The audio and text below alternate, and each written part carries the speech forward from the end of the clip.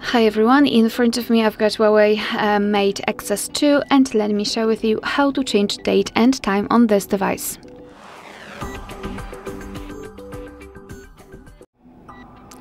So let's begin with opening the settings and here in this left section we have to scroll down to the very bottom to find system and updates. Then let's tap on date and time and here we've got some options uh, connected with a date and time. So first of all, let's begin with the time format. So right now we've got the 24 hour one applied. Obviously we can set the 12 hour format just by turning off this option by tapping on the switcher. So it's obviously up to you how you want to use it. As you can see, we've got the automatic date, time and the time zone. So to be, uh, to be able to manually change it, we have to turn off this option just by tapping on the switcher. And now we can freely tap on date and change change the date just by swiping, confirm it with OK.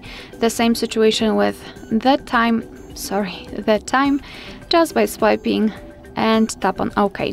The time zone, tap on it, and here we've got the the full list of available time zones, so find yours and uh, tap on it in order to apply it.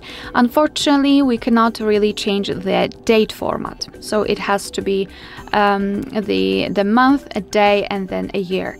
Here you can also decide whether you like to use dual clocks. Um, you can turn it on and off just by tapping on the switcher. And basically, the whole feature, the whole idea of this feature is to show you two different clocks. The first one from the place you're currently in, which is set here in this time zone, and the second one from any other uh, place of your choice, for example, your home city or whatever city you wish to uh, apply.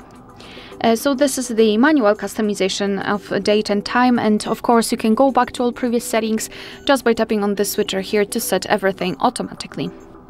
Alright, so that will be all. Thank you so much for watching. Please hit the subscribe button and leave the thumbs up.